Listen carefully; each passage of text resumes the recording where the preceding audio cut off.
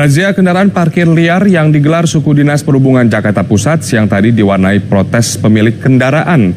Namun dalih pemilik tak dihiraukan petugas yang langsung menderek kendaraan. Lagi dipanggil dulu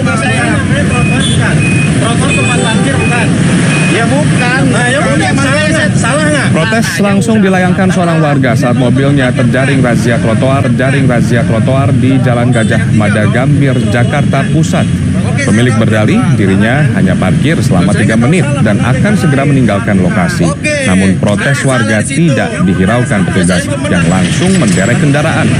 Gali Putra melaporkan sebanyak tiga unit kendaraan roda empat terjaring razia. Karena